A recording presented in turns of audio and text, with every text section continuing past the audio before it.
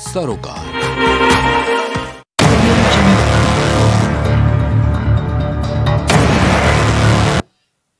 नमस्कार, मैं हूँ गौरव श्रीवास्तव। प्राइम डिबेट में आप सभी का बहुत बहुत स्वागत है।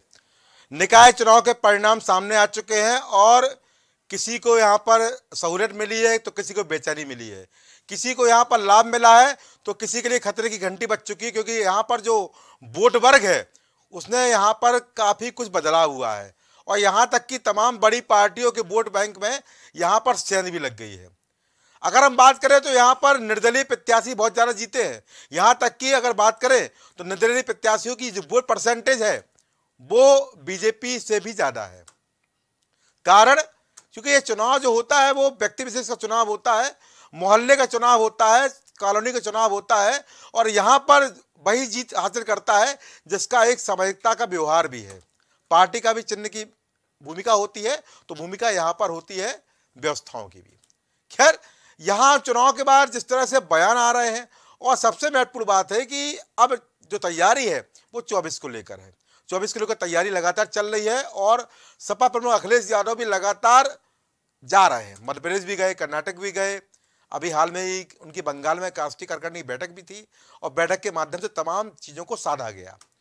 पर साधने के बीच में कांग्रेस को अलग थलग कर दिया गया। कांग्रेस के लिए बात नहीं की गई? और ये तक कहा गया कि कांग्रेस अपनी स्थिति को जहाँ है, वहाँ मज़बूत करे। पर जैसे ही कांग्रेस कर्नाटक चुनाव जीत कर आती है तो फिर विपक्ष के सिरमौर के रूप में कांग्रेस की तरफ़ झुकाव भी होना शुरू हो जाता है। भाई, कारण यह है, देश की राष्ट्रीय पार्टी है और दस को देश पर राज किया है। कांग्रेस को कोई भी दल हल्के में नहीं ले सकता। पर इसके साथ साथ तमाम गठबंधन ऐसे हैं जिनको लेकर भी चर्चाएँ होती रहती हैं। खैर, भारतीय राजनीति में बिना गठबंधन की सरकार बनाना इतना आसान नहीं है। पर चूँकि गठबंधन होता है तो उसके साथ व्यवस्थाएँ होती है और होती है उम्मीदें। और जब उम्मीदें टूटती है तो कहीं ना कहीं गठबंधन में भी दरार आ जाती है। तमाम दल बीजेपी के साथ रहे और तमाम दल सपा के साथ रहे। अगर एक दल की बात करें सुभाषपा तो पहले बीजेपी के साथ थी, फिर सपा के साथ थी और फ़िलहाल अकेली है। अब जाएगी किस तरफ़? ये पता नहीं, क्योंकि मुलाकातें यहाँ चलती रहती हैं। कभी सत्ता पक्ष के साथ तो कभी विपक्ष के साथ। पर यहाँ पर जिस तरह से हम चर्चा कर रहे हैं, सपा और आलोट की तो वहाँ पर भी गठबंधन बड़ा मज़बूत रहा। और आज भी कहा जाता बड़ा मज़बूत है। पर जो तमाम बातें सामने निकल के आ रही हैं, जो सूत्र बताते हैं, जो इस समय चलन में चल रहा है, कि कहीं ना कहीं इस गठबंधन में भी कुछ दिक्कतें आ गई हैं। क्योंकि तमाम निकाय चुनाव में तमाम जगहों पर दोनों पार्टियों के प्रत्याशी आमने सामने रहे। और लाभ मिला तीसरे प्रत्याशी को। भाई होगा होगा। जब दो लोग आपस में लड़ेंगे, तीसरे को लाभ मिलेगा। अगर वही स्थिति हम कन्नौज की बात करें, रामपुर की बात करें और खतौली की बात करें तो बड़ी मेहनत वहाँ पर हुई थी। और परिणाम आपको पता है कि रामपुर बीजेपी जीत कर आई थी और खतौली और कन्नौज में बीजेपी को हराकर यहाँ पर गठबंधन जीता था।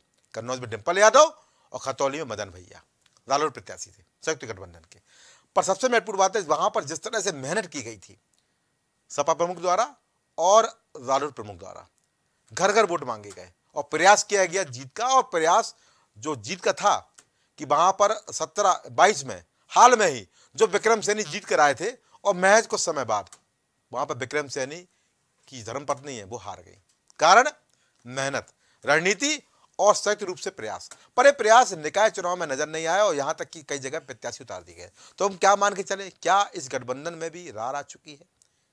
या सब कुछ ठीक नहीं है, या कुछ अलग व्यवस्था की तरफ़ जा रहे हैं, या फिर कोई और साथी इस गठबंधन में आने वाला है। अब है क्या? वो तो शायद गठबंधन जानता होगा, या लोग जानते होंगे, या फिर थोड़ा बहुत हम जैसे खबरन बीज भी जानते होंगे, क्योंकि अगर कहीं ना कहीं आग लगती है तो चिंगारी के बिना संभव ही नहीं है।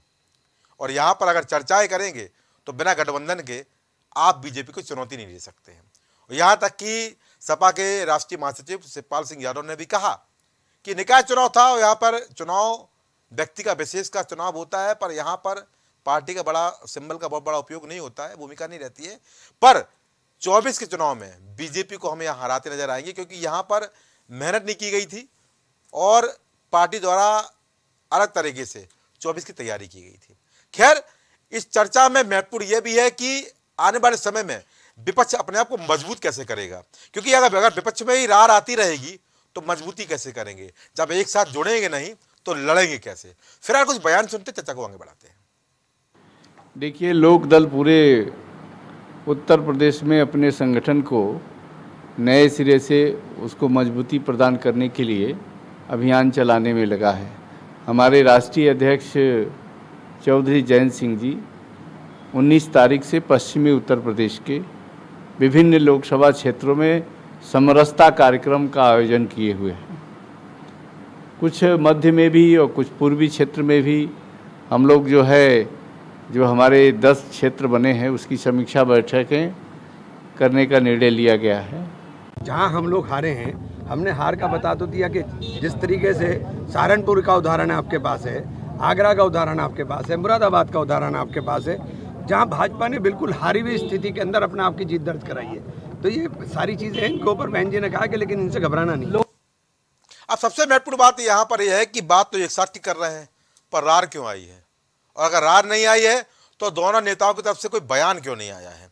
अमूनन हम देखते हैं, तमाम तरह के बयान आते रहते हैं, और कहा जाता है कि ऐसा कुछ नहीं है।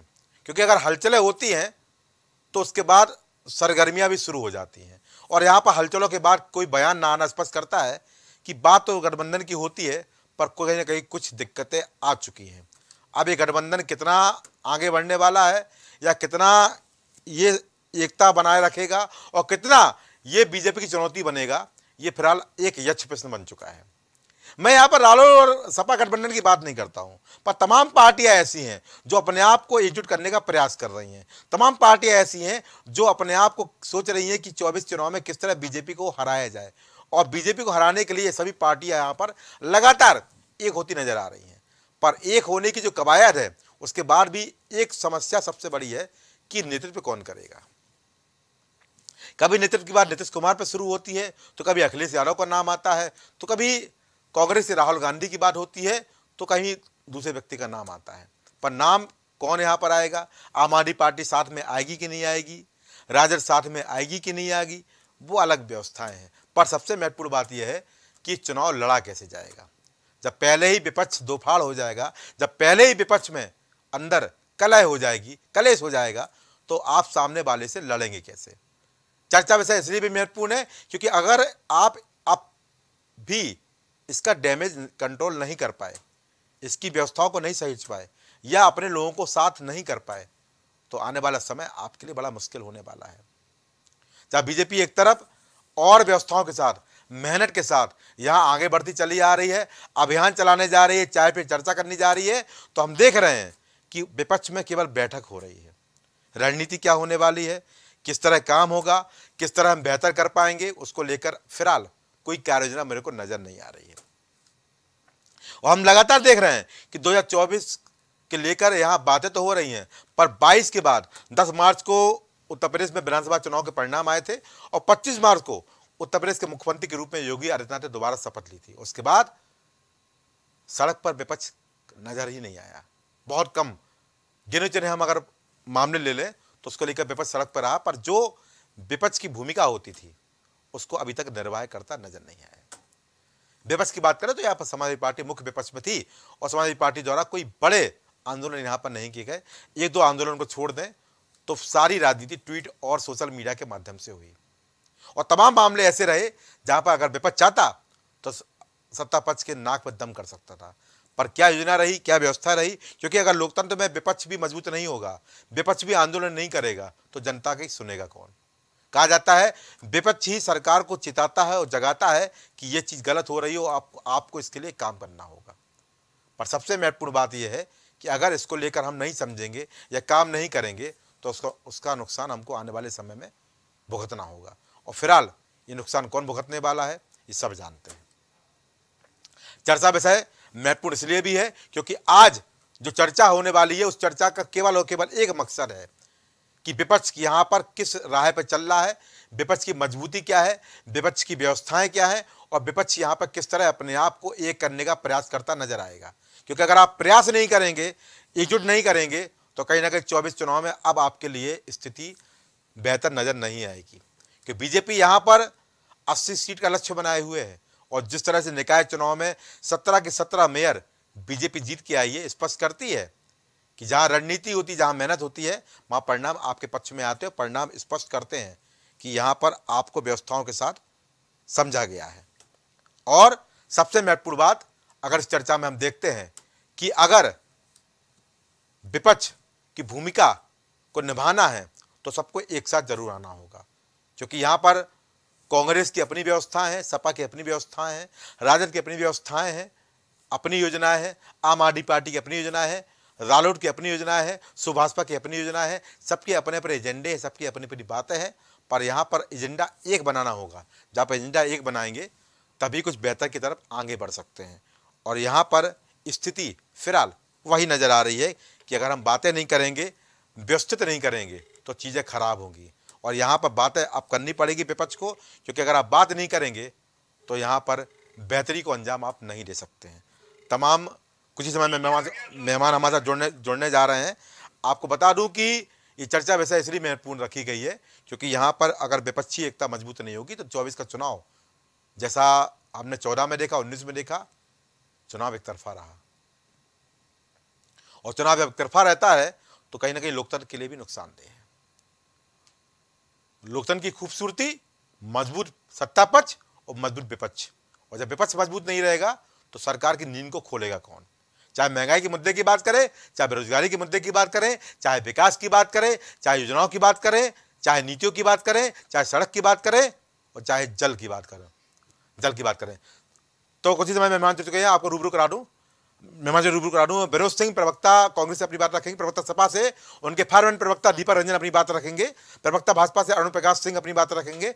दीपेश परवन भाई विशेषज्ञ के रूप में अपनी बात रखेंगे और विप्रकाश मिश्रा लालू से अपनी बात रखेंगे। आप सभी का इस कार्यक्रम में बहुत बहुत स्वागत है। तो मेरा पहला सवाल रहेगा और रहेगा प्रवक्ता सपा से। दीपक भाई, क्या देखते हैं? भाई, तैयारी तो यहाँ बेहतर है। और सपा प्रमुख लगातार मध्य प्रदेश भी जा रहे हैं, कर्नाटक भी जा रहे हैं और अपने आप को एक बेहतर, गंभीर नेता की तरह प्रस्तुत भी कर रहे हैं। पर निकाय चुनाव का जो परिणाम है वो आपके पक्ष में नहीं आएगा उसमें कोई दो राय नहीं है कि निकाय चुनाव में आपको नुकसान हुआ। देखिए, निकाय चुनाव में हमारा आपने जिस तरीके से चुनाव संपन्न हुआ आपने देखा होगा आपके चैनल ने दिखाया बहुत से मीडिया चैनल्स ने दिखाया कि किस तरीके से अलोकतांत्रिक तरीके से चुनाव संपन्न कराने का काम किया भारतीय जनता पार्टी ने। अच्छा। भारतीय जनता पार्टी का पुलिस तंत्र भारतीय जनता पार्टी की मशीनरी सरकारी मशीनरी किस तरीके से दुरुपयोग किया गया इसका? लोगों को मतदान स्थल तक नहीं जाने दिया, दिया गया। कर्फ्यू जैसा माहौल वोटर लिस्ट में लोगों का नाम नहीं। अभी आपने देखा होगा स्वार में जो उपचुनाव हो रहा था स्वार में हमारी प्रत्याशी अनुराधा चौहान जी, जी। किस तरीके से लोगों के बीच में जा रही थी और लोगों से ये गुहार लगा रही थी लोगों से अपील कर रही थी हम्म। कि माताएँ बहनें भाइयों आप लोग निकलो। जिस दल को भी आपको वोट देना है आप वोट दो लेकिन आप मतदान स्थल तक जाओ। लेकिन कैसा पुलिस का खौफ और किस तरीके से जो है माहौल पैदा कर रखा था इन लोगों ने भाजपा की सरकार में? हम्म। और किस तरीके से धांधली आपने देखा होगा हम्म। कि बिठाला किसी और प्रत्याशी को जीत का सर्टिफिकेट देने के लिए? और बाद में पुलिस बल पे पुलिस की लाठी पे बूटों के दम पर जीत का सर्टिफिकेट किसी और को दे दिया। आपने मैनपुरी की घटना देखी होगी आपने लखीमपुर का देखा होगा कि किस तरीके से प्रत्याशियों को और नगर पंचायत में और नगर पालिका में हमारा वोट परसेंटेज बढ़ा है। और ये जो नगर महापौर ये सही है मैं बधाई देना चाहता हूँ इनके जीते हुए महापौरों को कि 17 के 17 मेयर उन्होंने जीतने का काम किया। लेकिन अगर आप 17 मेयर में देखें तो सिर्फ़ और सिर्फ़ 25 विधानसभा आती है सिर्फ़ और सिर्फ़ 25 विधानसभा कवर होती है। और लोकसभा के चुनाव को आप इस नगर निकाय के चुनाव से आप कतई कंपेयर नहीं कर सकते। और साथ ही साथ गौरव भाई बड़ी माफ़ी के साथ मैं आपसे कहना चाहता हूँ कि श्रीमती डिम्पल यादव जी कन्नौज से नहीं मैनपुरी से उपचुनाव भी हाँ, जीतने जी, का काम किया उन्होंने। जी, जी, जी, और आपने देखा होगा खतौली में हमारा गठबंधन जो है वहाँ पे जीतने का काम किया। और स्वार में और आपके छानबे में किस तरीके से चूँकि लोकतंत्र का सबसे बड़ा पर्व होता है मतदान। और किस तरीके से भारतीय जनता पार्टी ने लोकतंत्र का उपहास उड़ाने का काम किया। और अगर लोकतंत्र को बचाना है तो निश्चित रूप से हम सब लोग एकजुट होकर के सारे विपक्षी दल एकजुट होकर के हम लोग आगे की रणनीति तैयार करेंगे और बहुत से रणनीति बहुत से फार्मूले पर बात हो रही है। हमारे शीर्ष नेतृत्व इस पर बात विचार विमर्श कर रहे हैं और मैं समझता हूँ इसका खुलासा किसी चैनल पे करने की आवश्यकता नहीं है। और रहा सवाल आरएलडी से। आरएलडी से हमारा गठबंधन तब भी मज़बूत था अच्छा। आज भी मज़बूत है और कल भी मज़बूत रहेगा। अच्छा। अब वो तो आरएलडी वाले बताएँगे कि मज़बूत है कि नहीं है। बेर भाई मज़बूत है कि नहीं है? मुस्करा रहे हैं आप तो। पूरी तरीके से मज़बूत है। अच्छा। आगे भी ये मजबूती के साथ गठबंधन चलता रहेगा। अच्छा मज़बूत कैसा है कि आपस में चुनाव लड़ गए? कई सीटों पर चुनाव आपस में लड़ गए? देखिए ऐसा है कई ये कैसी मजबूती बता दीजिए। मेरी समझ में नहीं आ रही है। कई गौरव जी। जी।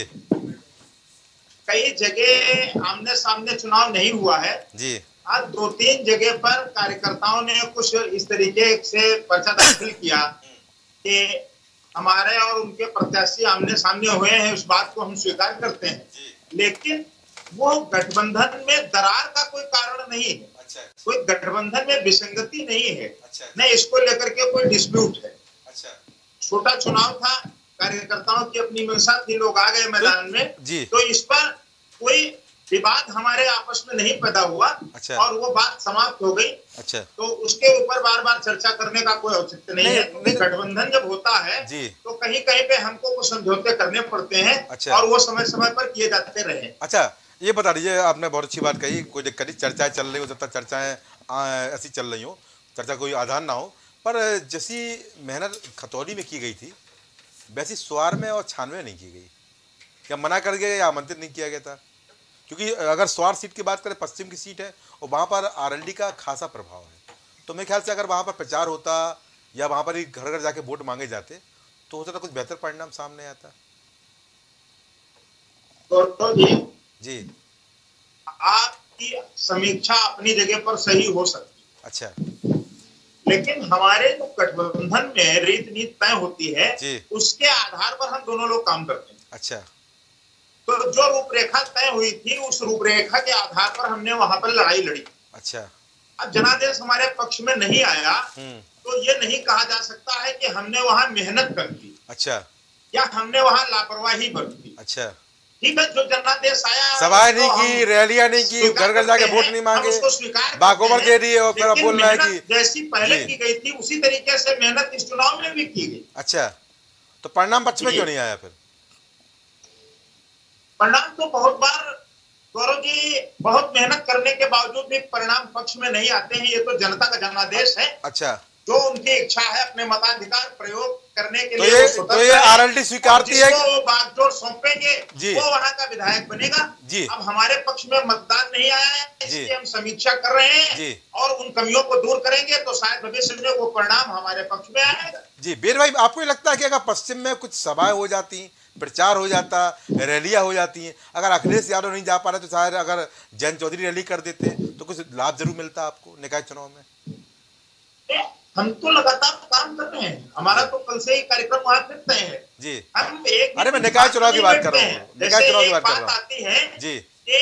उस सत्ता पक्ष में बैठे हुए लोग या विशेष दल हाँ। वो पूर्णकालिक है और वो लगातार चुनावी मोड में रहते हैं। तो हम भी लगातार चुनावी मोड में हैं आप हमारी व्यवस्था देखिए कि हम 19 तारीख से हम लगातार अरे कैसा चुनावी मोड है भैया?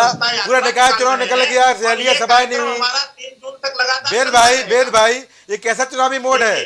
कि ना सभाएँ होती ना रैलियाँ होती है कैसा चुनावी मोड है? पूरा निकाय चुनाव निकल गया। क्या निकाय चुनाव बाखोबर दे रहे थे या हल्का मान लिया निकाय चुनाव को? जी। गौरव भाई जी बराबर रैलियाँ निकली हैं बराबर चुनावी मोड में हम रहे हैं बराबर हमने जनसभाएँ की हैं हाँ। लगातार हम जनसभाएँ कर रहे हैं आप पश्चिमी उत्तर प्रदेश के अपने जो रिपोर्टर्स हैं उनको सक्रिय अरे है मेरे पास भाई, रिपोर्टर है भाई। हमसे एक सूची ले लें और हमारी अच्छा। जनसभाएँ देख लें अच्छा, कहाँ का जनसभा हुई? मेरे गिना दीजिए। वो कवरेज करके आपको जनसभा गिना दीजिए, बेर भाई। नहीं कह सकें कि बेर भाई, जनसभा गिना दीजिए, कहाँ कहाँ हुई है? मुझे याद है। सड़क तक पूरी मेहनत कर रहे हैं मिश्रा जी आप नाराज़ हो गए मुझे जनसभा दी कहाँ का जनसभा नहीं मैं नाराज़ नहीं हुआ। हाँ जनसभा दी कहाँ जनसभा हुई थी आपकी? मैं आपकी पूरी बात का सम्मान करता हूँ नाराज़गी का क्या नहीं, नहीं, मतलब है? जनसभा- नहीं, नहीं। वरिष्ठ है आपको हमसे पूरे प्रश्न पूछने का नहीं नहीं। अधिकार है। जी कहाँ हुई थी वो गिना दीजिए जरा मेरे को? जी? जनसभाएँ कहाँ कहाँ हुई थी? निकाय चुनाव गिना दीजिए मेरे को जरा। निकाय चुनाव में? हाँ गिना दीजिए अरे भाई बागपत खतौली हाँ। हाँ। मेरठ हाँ। मुजफ्फरनगर हाँ। बिजनौर हाँ। कहाँ कार्यक्रम नहीं और बाकायदा हम चुनाव जीते हैं आखिर जो हमारे नगर पंचायत और नगर पालिका के जो तेईस लोग चुनाव जीत करके आए हैं अध्यक्ष हाँ। तो ये क्या बिना किसी कार्यक्रम और रूपरेखा के जीते यही- यही जवाब पूछना चाह रहा था। यही जवाब चाहिए था मुझे, यही जवाब चाहिए था। गठबंधन के साथ हमने काम किया यही जवाब चाहिए था, यही जवाब चाहिए था। विशेष के लिए हो यही जवाब चाहिए था ठीक है ठीक अरुण प्रकाश जी जी आपको मेरी आवाज़ आ रही जी अरुण जी चुनाव आपने देखा है आवाज़ आ रही है। आपका चुनाव आपने देखा है। चुनाव में बीजेपी को यहाँ पर बड़ी सफलता मिली है। कर्नाटक ज़रूर हारी है उसकी चीज़ ज़रूर है पर यह निकाय चुनाव से कुछ मरहम लगा है। और मरहम लगना भी चाहिए क्योंकि यहाँ पर चुनाव बड़ा महत्वपूर्ण था। और जहाँ पर मुख्यमंत्री पचपन से ज़्यादा सभाएँ करते हैं वह विपक्ष सात से आठ सभाएँ करता है। अखिलेश यादव सपा प्रमुख छह से सात सभाएँ करते हैं। क्या आपको लगता नहीं है कि पूरा बाखोबर आपको दे दिया गया था चुनाव में? चुनाव लड़ा ही नहीं गया। और भाई दूसरी तरफ़ गठबंधन की बात तो होती है पर एक दूसरे के खिलाफ ही प्रत्याशी उतार दिए जाते हैं। जी।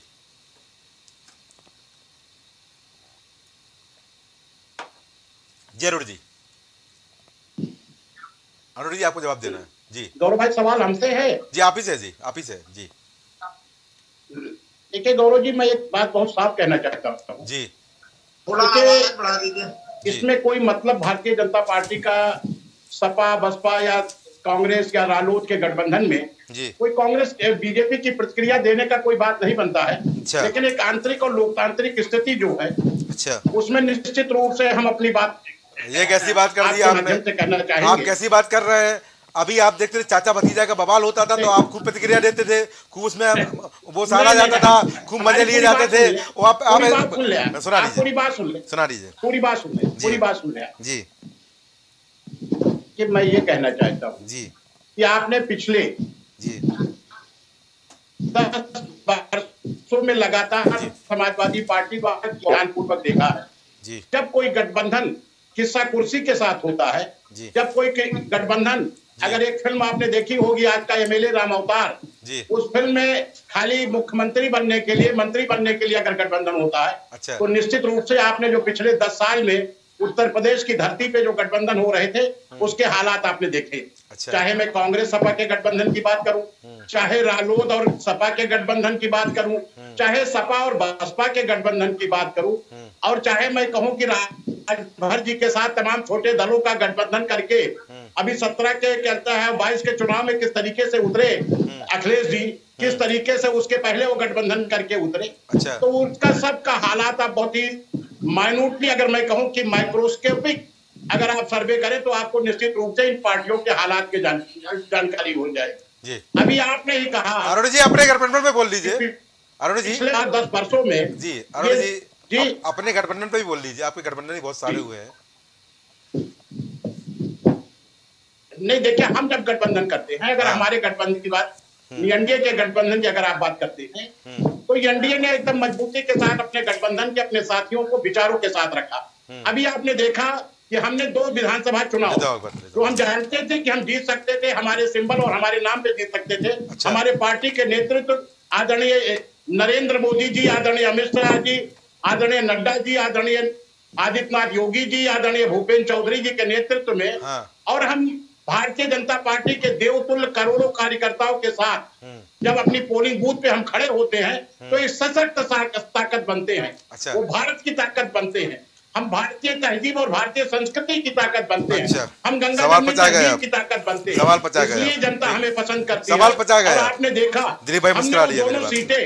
जी। अब दोनों सीटें अपना हाँ। दल के प्रत्याशियों को दी अच्छा। हमने कप्तान प्रिया पटेल जी को वो सीटें दी और हमारे सारे कार्यकर्ताओं ने सभी नेताओं ने मेहनत किया हम्म। कि इस उपचुनाव में अभी देखा आपने आप स्वयं कह रहे थे हम्म। कि इस उपचुनाव में विधानसभा में हमने कहता वो चुनाव में जीत दर्ज की उसी के साथ निकाय के चुनाव में भी हमने गठबंधन किया निकाय के चुनावों में भी भारी विजय और जीत दर्ज की है।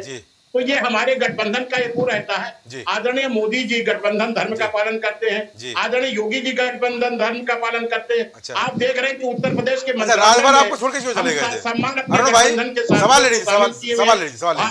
के राष्ट्रीय गठबंधन में अपने केंद्रीय मंत्री अरुण जी अरुण जी राजभर आपको छोड़ के क्यों चले गए थे? ओम प्रकाश राजभर नाम सुना है आपने?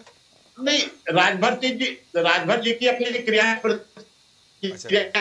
रही हाँ। उस पे वो आपसे संतुष्ट नहीं थे कह रहे आप लोग काम नहीं करते समीक्षा या मीमांसा की ज़रूरत नहीं समझता अच्छा। एक मेढक तौलने के समान राजभर जी का साथ रहना तो एक मेढक तौलने के समान रहता है अच्छा। लेकिन हमने उनको सम्मान दिया अच्छा। अब राजभर जी को एक हाँ। कोई दोबारा मचोड़ चीज़ें लीजिएगा नहीं कैसे? होंगी। अब दोबारा हो है लिया, इसी हमारे डिबेट उठाओगे नहीं समझा लेकिन पिछले पिछले काफ़ी दिनों में आप देख रहे हैं डाल रहे हैं। कि राजभर जी का एक प्रयास है कि किस तरीके से भारतीय जनता पार्टी में हम पुनः जाए अच्छा आप जोड़ेंगे क्या उनको? बीजेपी में जुड़ेंगे क्या आप दोबारा? नहीं अभी तो हमारा ये नेतृत्व का काम है। अच्छा। हमारा नेतृत्व तो विचार करेगा। हाँ। आदरणीय अभी वो मेढक बोल दिया वो नेतृत्व काम करेगा समझ में नहीं आया मेरे बात। जी, को जुड़ पाते हैं कि नहीं? ठीक है ठीक है ठीक है। प्रवक्ता कांग्रेस विनोद भाई। भाई आप कर्नाटक जीत के रहे हो आपको अब विपक्ष में यहाँ पर पूछा जाने लगा है। पहले तो आपका नाम ही नहीं लिया जा रहा था। अलग मोर्चा बनाया जा रहा था पर अब शायद विपक्ष में यहाँ पर अब शायद कांग्रेस को यहाँ पर तवज्जो मिलनी शुरू हो गई है। आपके लिए खुशी की बात है। पर एक खुशी अभी और मेहनत करनी पड़ेगी। क्योंकि ज़रूरी नहीं है कि विधानसभा चुनाव आप जीत कर आए हैं तो वहाँ आपको लाभ मिले। मध्य प्रदेश राजस्थान छत्तीसगढ़ तमाम चुनाव ऐसे हुए जहाँ विधानसभा चुनाव होने का जब लोकसभा चुनाव हुआ है तो वहाँ पर बीजेपी को लाभ मिला। है देखिए सर्वप्रथम कर्नाटक की जीत के लिए जी। कर्नाटक सब शिष्ट सम्मानित जनता को बार बार धन्यवाद। कर्नाटक की प्रगति, कर्नाटक की प्रसिद्धि, कर्नाटक की समृद्ध भविष्य में बेहतर होगी। भारतीय जनता पार्टी की पिछली सरकार ने कर्नाटक में और पूरे देश में जिस प्रकार से जन सरोकार के मुद्दों को किनारे कर दिया है, अपनी सस्ती, झूठी, हल्की, हिंसा, गोली, गाली, वेग वाली राजनीति से, कर्नाटक से जो बयार बही है वो पूरे देश में नए राजनीतिक सकारात्मक वातावरण का जन्म देगी।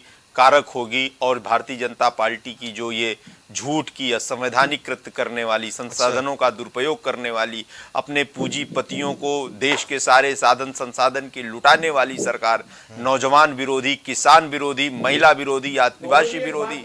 अरे मैंने तो आपके बीच में नहीं, बोला। ये क्या तरीका है आप? पहला राउंड है पहला राउंड है पहला राउंड थोड़ी शिष्टता तो होनी चाहिए आपके अंदर। ठीक है ठीक है भैया कोई व्यक्तिगत बात नहीं बोली। शिष्टता मैं सीख रहा हूँ। जी बिल्कुल सीखिए। हूँ। आपको आवश्यकता है सीखने की।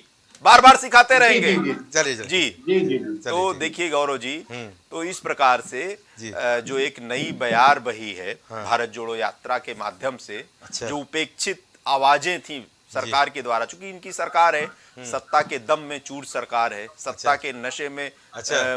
मत भ्रंत सरकार अच्छा। है सत्ता के नशे के घोड़े पे सवार है इनको कुछ नहीं दिखता है। अच्छा, कुछ नहीं अगर कोई कोई पत्रकार साथी कोई राजनीतिक दल का कार्यकर्ता कोई बुद्धिजीवी कोई रिसर्चर कोई तुलनात्मक रूप से अगर इनकी जवाबदेही सुनिश्चित करने के लिए अपने सीमा में मर्यादा में रहते हुए अच्छा। असंवैधानिक सीमाओं में रहते हुए अगर इनसे सवाल करने का काम करता है तो देश की सम्मानित जनता साक्षी है। भारतीय जनता पार्टी किस प्रकार से व्यक्तिगत अच्छा। मर्यादित अशोभनीय व्यक्तिगत टिप्पणी करते टिप्पणी ही नहीं किसी हद तक जाके उनका मोराल डाउन करने का डैमेज करने का काम करती है। अच्छा। तो ये भारत की जनता है मान्यवर। सरकार में आपको बता देगी लेकिन स्थायी आपके नाम रजिस्ट्री बैनामा नहीं कर देगी। जी। आपके इस कृत्य से आपने घोर निराश किया। जनता ने पूरा प्यार आपके ऊपर लुटाया। आपने सही बोला गलत बोला नया भारत स्मार्ट भारत अब तक का सबसे बेहतर भारत लेकिन किया आपने उसके सीधा उल्टा। हर सवाल से भागना बचना और सवाल करने वाले को आप दुश्मन मानते हुए उस पर अच्छा। दुश्मन की तरह कार्रवाई करना। अच्छा। तो देश की जनता देख रही है और भारत के भविष्य के प्रति जो लोग जरा भी संवैधानिक तरीके से सोचते हैं रचनात्मक तरीके से सोचते हैं चिंतित हैं वो भारतीय जनता पार्टी की इस झूठ की पोल खुल चुकी है। उत्तर प्रदेश बड़ा एक कारक बनेगा। और सभी समान विचारधारा के लोग। यहाँ पार्टी पॉलिटिक्स बात की बात आती है। भारत का भविष्य भारत का युवा भारत की महिलाएँ भारत का भविष्य अगर बेहतर होगा तो सबके लिए ठीक अच्छा होगा। मैं सवाल मेरा। सवाल ये है कि आपने कर्नाटक चुनाव वैसे लड़ा और वहाँ पर सरकार बनाई। निकाय चुनाव बाकोवर दे रहे थे पूरी तरह से। कोई नेता नहीं आया लड़कियों लड़ सकती हुई भी नहीं आई और तमाम आपके नेता है वो भी उतने ज्वलंत नहीं नज़र आए। पूरा चुनाव कार्यकर्ताओं के सहारे लड़ा गया। क्योंकि ना रैलियाँ हुई ना जनसभाएँ हुई। क्या माने? नहीं। कि उत्तर प्रदेश में आपको संभावना नज़र नहीं आती है? नहीं, उत्तर प्रदेश जहाँ पे आपकी सरकार रही है वो उत्तर प्रदेश जहाँ पर अभी हाल में विधानसभा चुनाव खत्म हुआ है आपको केवल महज दो सीटें मिली है। तो ये हताशा थी कि बाकुबर थी या कोई और रणनीति है? नहीं नहीं देखिए गौरव जी ऐसा बिल्कुल नहीं था। ये सही है कांग्रेस पार्टी की न्यू कांग्रेस पार्टी की पीठ की रीढ़ कांग्रेस पार्टी का आधार लाखों करोड़ों कांग्रेस के कार्यकर्ता जन हैं। अच्छा। जो कांग्रेस की विचारधारा को कांग्रेस की सोच को आगे रखने का काम करते हैं।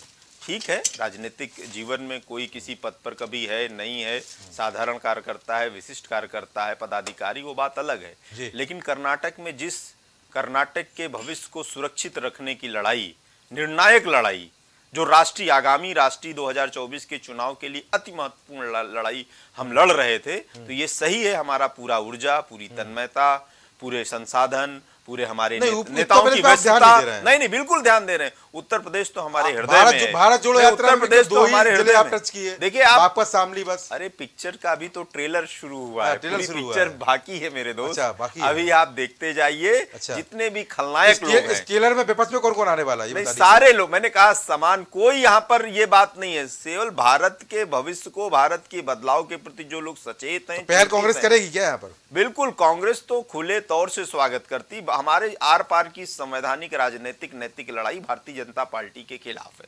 जो भारतीय जनता पार्टी की नीतियों के खिलाफ इस झूठ के खिलाफ इस असंवैधानिक आचरण के खिलाफ इस सत्ता के तानाशाही रवैये के खिलाफ कोई भी आना चाहे उसका स्वागत है और निर्णायक रूप से ये लड़ाई लड़े और भारतीय जनता पार्टी की जो राजनीति है हिंसा वाली गाली वाली गोली वाली बांटने वाली व्यक्तिगत वाली इस सब का पूरी तरीके से मुखरता के साथ विरोध करना आज के समय की नितांत आवश्यकता है। कांग्रेस पार्टी को कर्नाटक की सम्मानित जनता ने ऐतिहासिक जीत दिलाई क्योंकि उन्होंने जनता की बात की जनता के सुर में सुर मिलके उनको आवाज़ देने का काम किया। अच्छा, भारतीय जनता पार्टी पूरी उम्मीद निराश है घबराई हुई सुर बना रहे बहुत बेहतर रहेगा। दिलीप भाई सुर बना रहेगा कि नहीं बना रहेगा? आप बता दीजिए क्योंकि यहाँ पर ना रालोद मानने तैयार है ना सपा मानने तैयार है। और कांग्रेस तो यहाँ पर बोल रहा है कि हम सब एक है। अब हम सब एक है कि हम सब अलग अलग है बता दीजिए। आपसे बेहतर विश्लेषण कौन करेगा? जी दिलीप भाई। गौरव भाई सुर ज़रूर बना रहेगा लेकिन सुर में संगीत मिलेगा कि नहीं मिलेगा ये इस पे सवाल ज़रूर खड़ा रहेगा। अच्छा क्या बात है। और राजनीतिक पार्टी कभी भी ये नहीं कह सकती है या नहीं कहती है कि हम अपना दम भर के इलेक्शन नहीं लड़ेंगे। आप किसी भी पार्टी से लीजिए छोटी सी छोटी पार्टियाँ भी कभी कभी आवेश में आकर के ये दावा कर देती हैं कि सारी की सारी सीटें हम चल जीतने जा रहे हैं जबकि सारी सीटों पर उन्होंने कैंडिडेट भी नहीं खड़े किए और गठबंधन के ऊपर आपकी बहस चल रही है यार गठबंधन राजनीति में गठबंधन का बनना और गठबंधन का टूटना इसका कोई बहुत महत्व नहीं है क्योंकि ये सब जानते हैं कि ये मौके की मौके का फ़ायदा उठाने के लिए हर व्यक्ति अपने हाथ को बढ़ाता है। जी। किसी भी पार्टी को लगता है कि दूसरी पार्टी से हाथ मिला लेना हमारे को लाभ प्रदान करेगा तो वो तुरंत बढ़ के हाथ मिला लेते हैं। और जैसे ही इलेक्शन खत्म होता है और उस इलेक्शन में एक आकलन होता है कि भाई इनसे हाथ मिलाने से हमारा क्या फ़ायदा हुआ अच्छा। या क्या नुकसान हुआ उस फ़ायदे और नुकसान के ऊपर वो चीज़ें फिर संबंध या तो चलते हैं या वही के वही खत्म।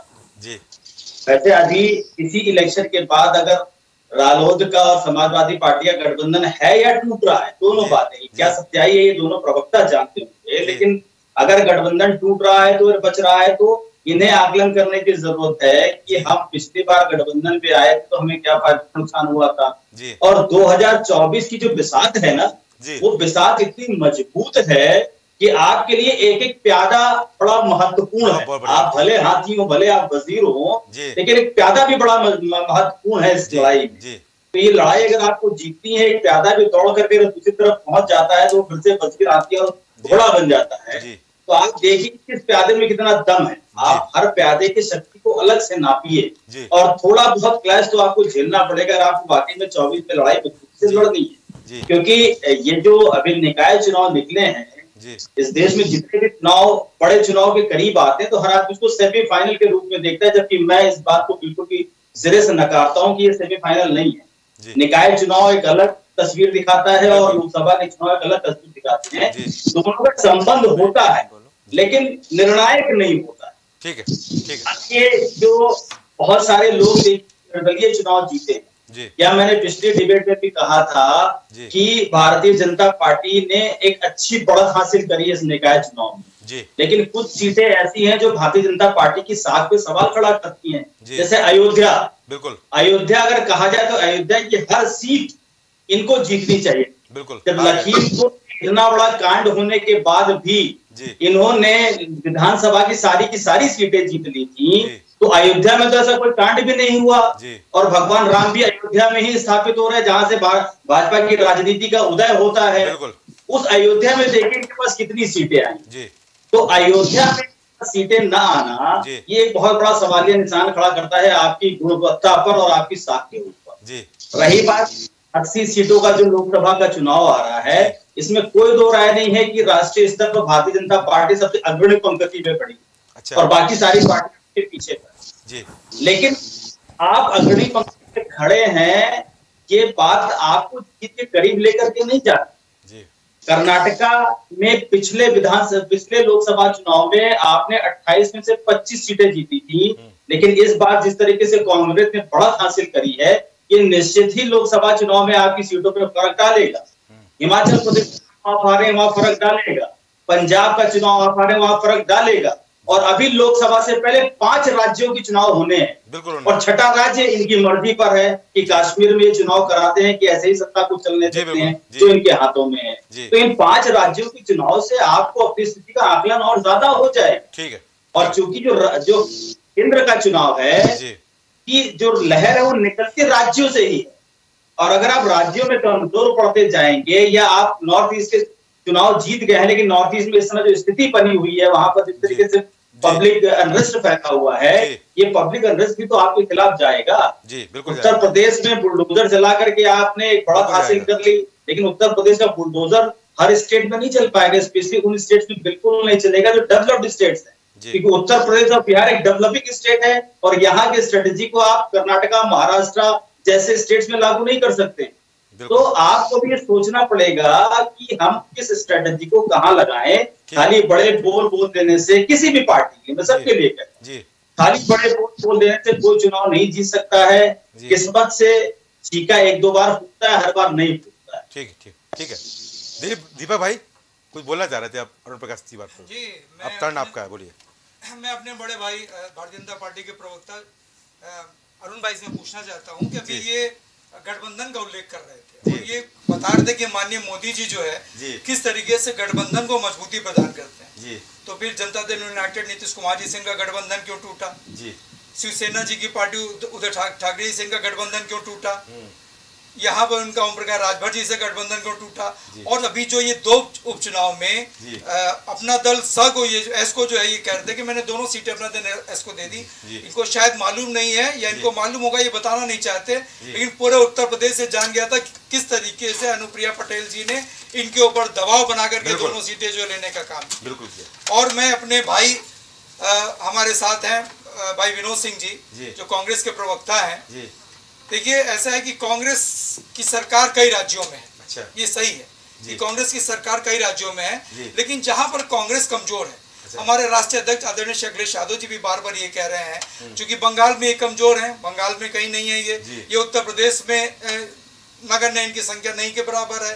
ये बिहार में इनकी संख्या इसी तरह के तेलंगाना है तो जो ऐसे राज्य जो विपक्ष की भूमिका निभा रहे हैं वो सीधे सीधे भारतीय जनता पार्टी से लड़ाई लड़ रहे हैं। उत्तर प्रदेश में देखिए समाजवादी पार्टी एक ऐसी पार्टी है जो। भारतीय जनता पार्टी से सीधे लड़ाई लड़ते हुए हर मोर्चे पे आपको समाजवादी पार्टी चाहे भारतीय जनता पार्टी की रीति हो नीति हो उसे लड़ती है आपको सिर्फ़ और सिर्फ़ समाजवादी पार्टी दिख रही तो कांग्रेस पार्टी को बड़ा दिल दिखाते हुए जो है अच्छा। इन दलों को आगे करके चुनाव लड़ना चाहिए और अगर इन फिरका परस्त ताकतों से हम लोग को लड़ना है उनके झूठ इनके फरेब क्योंकि नौ साल में देखिए इन्होंने सिवाय झूठ के और कुछ नहीं दिया। बेरोजगारी इन्होंने कहा खत्म करेंगे झूठ। पंद्रह लाख लोगों के खाते में आएँगे झूठ। दाऊद का सिर लेकर के आएँगे झूठ। इन्होंने सिवाय झूठ के कुछ सिवाय झूठ के इनके पास कुछ है ही अच्छा। नहीं इनकी पार्टी का नाम तो भाजपा पूरी हटा करके भारतीय जुमला पार्टी उसका नाम कर देना चाहिए। अच्छा। इन्होंने सिर्फ़ और सिर्फ़ झूठ पहुँचने का काम किया और देखिए जनता बहुत अच्छे से समझ चुकी है और बहुत अच्छे से जान चुकी है कि झूठ की हांडी इनकी बार बार चढ़ने वाली नहीं। है और अब की बार जनता इनको पूरी तरीके से उखाड़ फेंकने का काम करेगी और अब की बार मैं समझता हूँ ये जाएँगे क्योंकि सही है कि जहाज़ बड़ा हो चुका अच्छा। है और आप भी जानते हैं गौरव भाई जी। जहाज़ जो डूबता है वो हमेशा बड़ा जहाज़ डूबता। है। तो चौबीस में इनका जहाज़ बड़ा डूबने डूबने जाना है भाई आप अरुण भाई- आप, इतिहास उठा के देख लीजिए भाई, हमेशा बड़ा बड़ा जहाज़ डूबने जा रहा या तो या तो अरुण भाई बताएँगे इनका जहाज़ बड़ा नहीं है। जी अरुण भाई बता लीजिए ये बताएँ इनका जहाज़ बड़ा है कि नहीं है? इनका जहाज़ बड़ा है कि नहीं? हाना में जवाब दे मेरे बड़े भाई अरुण भाई। बता लीजिए अरुण भाई। ये बताएँ इनकी पार्टी बड़ी है कि नहीं? जी। अगर नहीं है तो मैं मान लूँगा इनकी जवाब दे और अगर बड़ी है तो इनका जहाज़ डूबने जा रहा है। 2024 में कोई रोक नहीं सकता इनको डूब ये तो हैट्रिक की बात कर रहे हैं पर। देखते जाइए हैट्रिक इनको क्या जो है दो ही बार की सरकार। जनता कह रही है कि कमल का फूल सबसे बड़ी भूल। अच्छा। और 24 में जो है जवाब जनता अरुण भाई जवाब है दे के लिए। अरुण भाई। और दीपक भाई अगर थोड़ा शांत हो तो हम जवाब बोले बोल लीजिए बिल्कुल बिल्कुल आप मेरी बात जवाब है। उसके बाद है दूसरा चरण है आप लोग ओपन बोल सकते भाई। बोलिए। दीपक जी हमारे साथी हैं वो वरिष्ठ प्रवक्ता है समाजवादी पार्टी के। जी। और मैं भली भाग जानता हूँ। जी। और सबसे बड़ी बात तमाम बातें भारतीय जनता पार्टी के प्रति कही। जी। दीपक जी हम उनका जवाब ज़रूर देना चाहेंगे। जी। दीपक जी को स्वयं खट्टे मीठे अनुभव का आभार। अच्छा। समाजवादी पार्टी का। है अच्छा। और खास करके मैं कहूँ कि अखिलेश यादव जी के नेतृत्व का भी उन्हें खट्टे मीठे अनुभव अच्छा। लेकिन दूसरी बात ये रही कि अभी आपने कहा कि अगर जहाज़ डूबने की बात। हम्म। हमारा जहाज़ तो जब से हम जहाज़ बने हम्म। तब से हम लगातार प्रगति पे हैं और आगे बढ़ रहे हैं। और हम जानते हैं कि जब मान लिया, मान लिया भारत के प्रधानमंत्री मान लिया आपने बड़ा जहाज़ है आपका ये माना ना आपने। तो कश्मीर से कन्याकुमारी दीपक भाई दीपक भाई सुन लें। कश्मीर से कन्याकुमारी से और तक से कटक तक। अच्छा। अभी नरेंद्र मोदी जी के नेतृत्व के व्यक्तित्व के बराबर हम्म। कोई भी व्यक्ति नहीं। अच्छा। और जब गठबंधन एक चौबीस के बीच में दीपक जी जाना चाहते हैं अब देखिए अभी एक राष्ट्रीय तो वही तो व्यक्तित्व लेके आप कर्नाटक में इतनी बड़ी लड़ाई हार चुके हैं? क्या बात करते हैं? कौन सा ऐसा तराजू है मानक है जिसपे आप विरोध? बोल कांग्रेस से क्या बात करते हैं। विरोध अरे कोई तथ्यात्मक बात करिए। लेकिन एक तरफ़ कांग्रेस पार्टी अरे वही आपका आपका जनता पार्टी आपका व्यक्तित्व आपके विरोध कर रही नेता आपके प्रधानमंत्री का जो जो नकारात्मक छवि है वो इतनी उठ चुकी है मोदी जी- मोदी जी कर्नाटक में हारे तो मोदी जी कर्नाटक में आपने हारे तो आगे कर दिया। नहीं आप बताइए कर्नाटक के हार की ज़िम्मेदारी कौन लेता है शुरू हो चुकी है। कर्नाटक- की उल्टी गिनती शुरू हो चुकी है छवि पे बोल रहे हैं रहे तो ये मोदी छवि बड़ी है। मैं मैं मछली मंडी या मछली बाज़ार मत बनाइए। आदमी अपने काम से बड़ा होता है नाम से नहीं बड़ा होता है। काम किया होता तो ज़रूर आदमी उनको। बड़ा मानता। गौरव जी मैं बड़ी अपने काम से बड़ा हूँ। अरुण जी एक सवाल तो ले ले अरुण जी बोले सुने भाई, अरुण भाई, आपसे कांग्रेस वाले इसको सवाल अरुण जी। के अरे अरुण जी, का कांग्रेस वाले कुछ पूछना चाह रहे हैं। बड़े अरे बड़ी सुनिए आप बड़ी विनम्रता से एक लाइन का एक सवाल है। आपका जो ये चेहरा है जो आप नेता हैं आपके सर्वमान्य सबसे बड़े सर्वोच्च नेता प्रधानमंत्री जी हाँ। आखिर उनकी छवि का असर तो अभी तुरंत कर्नाटक में दिख गया। तो क्या भारतीय जनता पार्टी में जो सत्ता संघर्ष सार्वजनिक हो चुका है क्या किसी और चेहरे पर आप राजनीति करने का मन क्योंकि ये चेहरा तो लगातार धूमिल होता जा रहा है। इस चेहरे ने अपनी विश्वसनीयता खो दी है। इस चेहरे ने अपने सारे जो, जो वायदे किए थे जिसपे वोट मांगा था जनता को घोर तरीके से निराश किया जाए। तो अब क्या चल रहा है? कर्नाटक की हार को मानते हैं कि नहीं मानते? हैं कर्नाटक की हार कर्नाटक की हार की ज़िम्मेदारी आप किस पर लेते हैं? प्रधानमंत्री जी उसके जिम्मेदार है कि नहीं? प्रधानमंत्री जी कर्नाटक में मुख्य चेहरा थे कि नहीं? मेरा इतना सवाल है प्रधानमंत्री जी कर्नाटक में जब मुख्य चेहरा थे तो इस हार की नैतिक राजनीतिक ज़िम्मेदारी कौन लेगा? क्या अरुण अरुण प्रकाश सिंह को वो ज़िम्मेदारी लेनी पड़ेगी। क्या प्रधानमंत्री मोदी जी की हार की ज़िम्मेदारी व्यक्तिगत तौर से अरुण जी को लेनी पड़ेगी? ठीक है क्या इतने सकते हैं आपकी पार्टी? इनका कहना यह है कि प्रधानमंत्री नरेंद्र मोदी कर्नाटक में बीजेपी का बड़ा चेहरा थे कि नहीं थे? उसके अभी वहाँ हार गए। विनोद सिंह का सवाल ये है आपसे। अरुण भाई बोलिए। और आप चेहरे का गुणगान कर रहे हैं। कुछ तो तथ्यात्मक बात करिए कुछ तो व्यवहारिक बात करिए। कुछ तो ऐसी बात करिए जो जनता जनता ग्राह्य कर सके स्वीकार कर सके। मनगढ़ंत बात मत करिए। आप कहानीकार की तरह कहानी मत बताइए। जी। आप तथ्यात्मक बात करिए। कर्नाटक में नाटक फेल अब पूरा गाँव जल गया।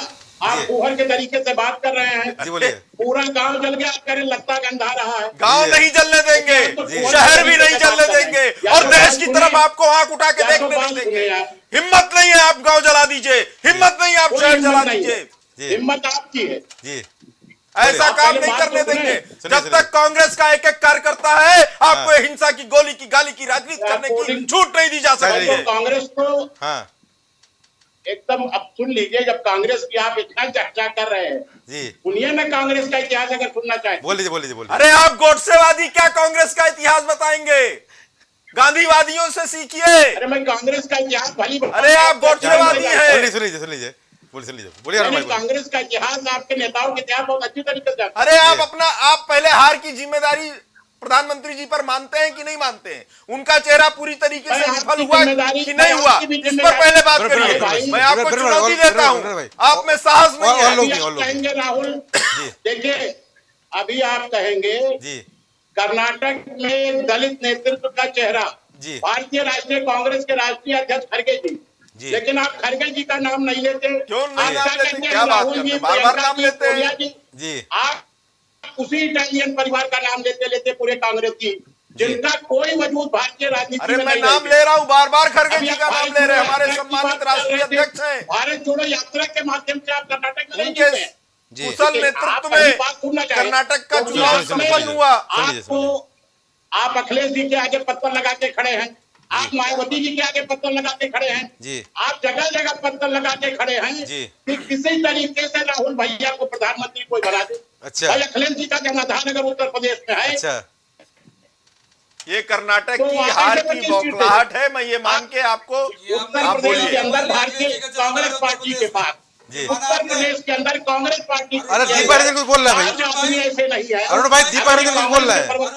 पाँच नाम गिना दे पाँच नाम। जो लोकसभा का चुनाव अरुण भाई एक एक सिर्फ़ एक सवाल जो गठबंधन के तहत टिकट मिल जाए उनको ये चुनाव लड़ सकते अखिलेश यादव जी का ऐसे जनाधार पाँच नाम उत्तर प्रदेश में अरुण जी दीपा रंजन कुछ बोल रहे हैं दीपा ये बोल रहे हैं। ये आपने माना कि अखिलेश यादव जी का जनाधार उत्तर प्रदेश में? नहीं ये आपने माना अभी आपने कहा। अभी आपने कहा है क्या? अखिलेश यादव जी का जनाधार उत्तर प्रदेश में।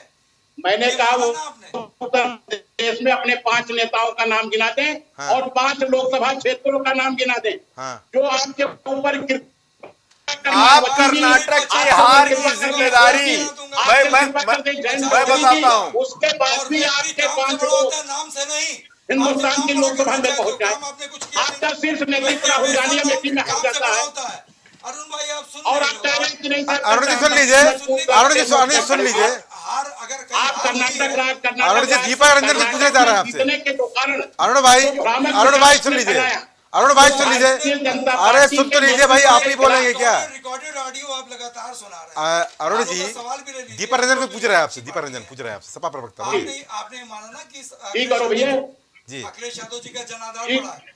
जी गौरव जी बताएँ। जी। ये बताइए अरुण भाई कि आपने भी कहा ना कि अखिलेश यादव जी का जनाधार है उत्तर प्रदेश में। और आप ये बताइए कि आदमी अपने काम से बड़ा होता है नाम से बड़ा होता है। किसी के नाम का महिमा मंडप करके आप कब तक जो उनको गुनाते रहेंगे? देखिए उल्टी गिनती आपकी शुरू हो गई है अरे अगर माना कि हार, हार मानने में कोई बुराई नहीं है।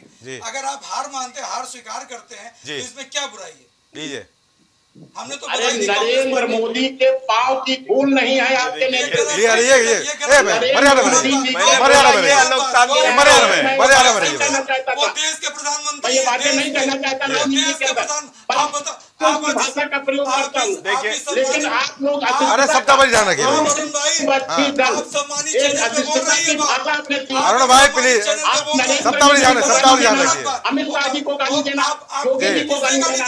जी। किसने गाली दी? अरुण भाई पर ये बार बोलना गलत बात है। साथ भाई शब्दावली ध्यान शब्दावली ध्यान रखिए। देखिए कर्नाटक की हार ने आपको गहरा आघात दिया है लेकिन इतना विचलित मत होइए। अच्छा। लोकतांत्रिक मूल्यों पर आस्था रखिए और जनता के जनादेश का सम्मान करना चाहिए। पूरा लोकतांत्रिक मूल्यों पे हमने बधाई दी। हमारे अगर आपको तहजीब नहीं तो हमारे शीर्ष आपको जनता के जनादेश से इतनी आपत्ति क्यों है? हार आपको स्वीकार क्यों नहीं है? ये तानाशाही की तरह आप क्यों व्यवहार करते हैं? ये आप विचलित क्यों हो जाते हैं? आप ये व्यक्तिगत टिप्पणी क्यों करने लगते हैं? आप ये गाली गलौज क्यों करने लगते हैं? प्राइम टीवी के दर्शक कह रहे हैं कि आप गाली गलौज क्यों के उतारू हो। जाते हैं? अरुण भाई अरुण भाई अरुण भाई। कांग्रेस पार्टी क्या वो ये बोले वो बोले चलने वाले प्रधानमंत्री बात भारतीय जनता पार्टी के प्रधानमंत्री। भाई तू अरुण भाई आप तू बोले चलने देश के बोले बात प्रधानमंत्री भारतीय जनता पार्टी के प्रधानमंत्री। अरुण भाई सुन लीजिए सुन भी लिया करिए। सुन लीजिए अरुण भाई अरुण भाई सुन लीजिए सुन लीजिए। सुनेंगे तभी बेहतर बोलेंगे। अरुण जी। प्रियंका गांधी पूरे चुनाव के बीच में। अरुण जी अरुण जी। अरुण जी सुन तो लीजिए। अरुण जी के?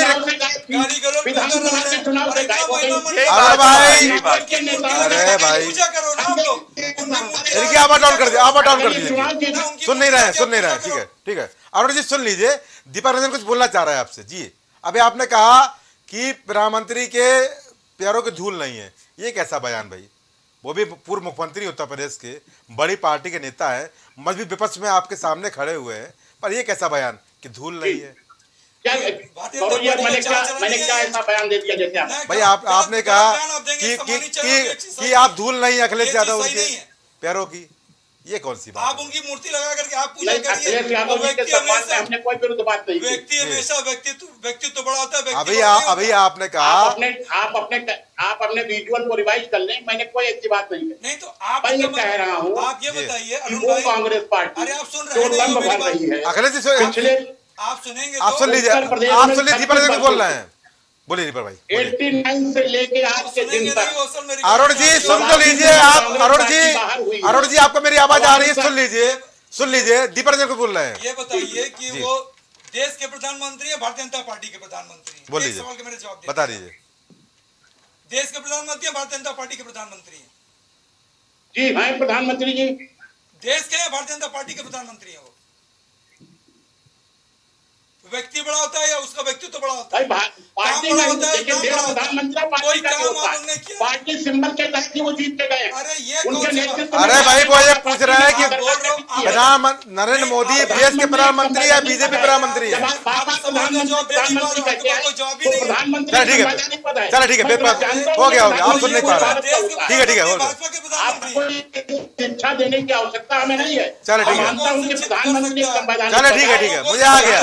जवाब नहीं जवाब नहीं ठीक है। बेर भाई बेर भाई कश्मीर हो गया हो गया हो गया हो गया। प्रधानमंत्री जी हो को गया, का प्यार है। व्यक्ति के लिए गलत बातों गलत भाषा वेद प्रकाश मिश्रा जी। भाई आप मुझसे बड़े हैं मैं भाई मेरा आपसे सवाल ये है कि यहाँ पर चर्चाएँ चल रही है कि दरार है।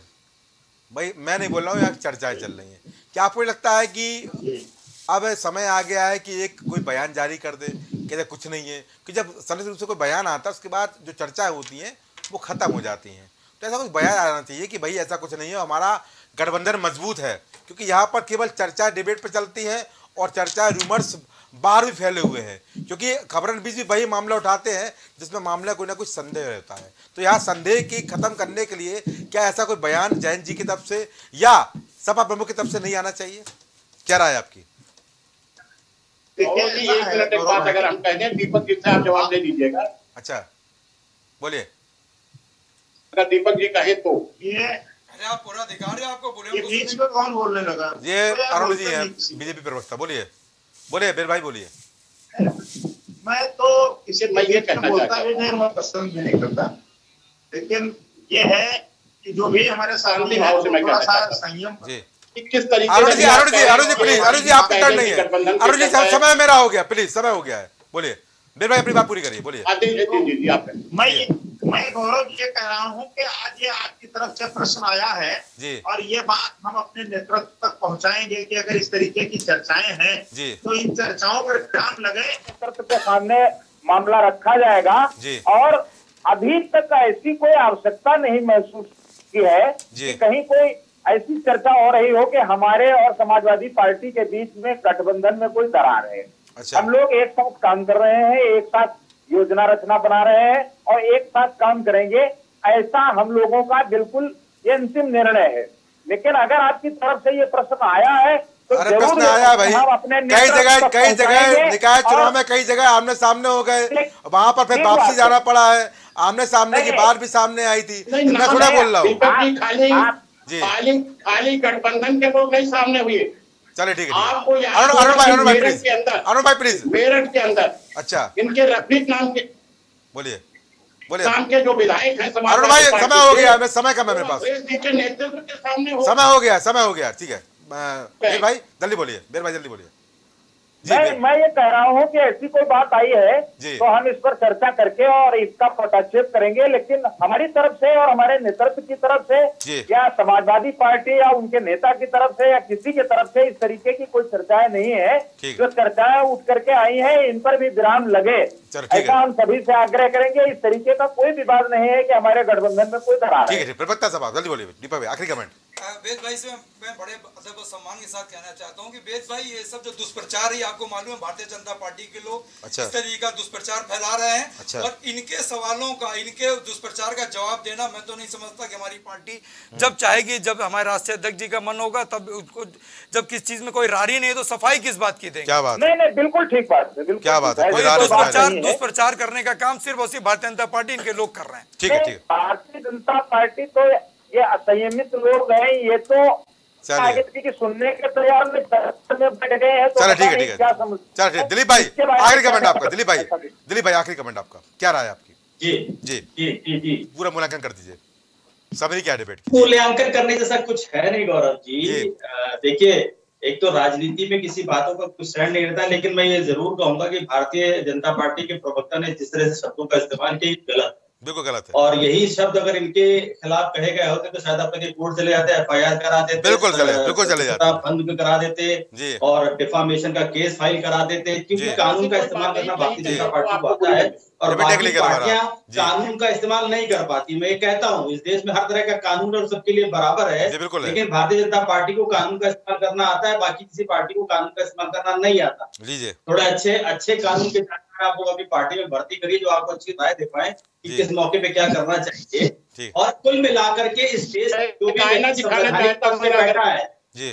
मेरी मेरी सुन लीजिए इस देश में जो भी व्यक्ति संवैधानिक पद पे बैठा है या बैठा था उस व्यक्ति के खिलाफ अपशब्द का इस्तेमाल बिल्कुल नहीं होना चाहिए बिल्कुल नहीं होना चाहिए। जी ठीक है। आप सभी का इस कार्यक्रम में जुड़ने के लिए बहुत धन्यवाद। तो चर्चा बड़ी महत्वपूर्ण चर्चा थी। आने वाले चौबीस चुनाव को लेकर गठबंधन को कैसे मज़बूत किया जाए? क्योंकि यहाँ पर रार की बात भी सामने आ रही है। अब रार है या नहीं है, वो तो शायद पार्टियाँ जानती होगी या प्रवक्ता जानते होंगे या फिर जानती होगी, जनता। खैर, यहाँ पर किसी कोई सफ़ाई की आवश्यकता भी नहीं है। चर्चाएँ चलती रहती है गठबंधन की, चर्चा चलती रहती है मिलाप की, चर्चा चलती रहती है अलग होने की। पर चर्चाओं पर ज़ोर किसी का नहीं है। क्योंकि जहाँ पर शायद चिंगारी रहती है, धुआँ भी वहीं निकलता है। अब धुआँ चिंगारी है या नहीं है, धुआँ है या नहीं है, वो सब जानते हैं। पर यहाँ पर जिस तरह से चौबीस चुनाव की तैयारी है, उसके लिए गठबंधन को मज़बूत होना होगा। गठबंधन किसी का भी हो, चाहे सपा रालोट का हो, चाहे कांग्रेस का हो या बसपा का हो, और इस गठबंधन में कितने लोग साथ ही आएँगे, ये भी बड़ी बात है। क्योंकि यहाँ पर गठबंधन के भी दो मोर्चे बनाने की यहाँ बात चल रही थी। अभी हाल में हमने देखा है कि दो मोर्चे में गठबंधन तब्दील हो रहा था, विपक्ष तब्दील हो रहा था और जब विपक्ष ही दो तरह में तब्दील हो जाएगा तो चुनाव लड़ेगा कौन? चुनौती देगा कौन? तो अगर वास्तव में बेहतर परिणाम लाने हैं या वास्तव में मज़बूत लोकतंत्र के लिए मज़बूत विपक्ष की एक कल्पना करके उसको साकार करना है तो उसके लिए सबसे पहले विचार बनाने होंगे, व्यवस्थाएँ मिलानी होगी और राय एक करनी होगी एजेंडा एक करना होगा, क्योंकि सत्ता परिवर्तन इतना आसान अब नहीं है। क्योंकि चौबीस चुनाव में जहाँ पर बीजेपी अपने आप को हैट्रिक करने के लिए लगातार तैयार कर रही है तो विपक्ष को भी यहाँ पर उसी व्यवस्था से, उसी रणनीति के साथ, उसी मेहनत के साथ चुनाव में उतरना होगा। अन्यथा, जो व्यवस्था है, वो चलती रहेंगी। परंपरा बदलना, उसके लिए संघर्ष करिए, चलते रहिए, और सबसे महत्वपूर्ण बात है कि राजनीति जनता के लिए करिए, जनता के मुद्दों पर करिए, और सड़क पर करिए, ना कि सोशल मीडिया पर और ट्वीट पर। तो आज की चर्चा में इतना ही। नमस्कार।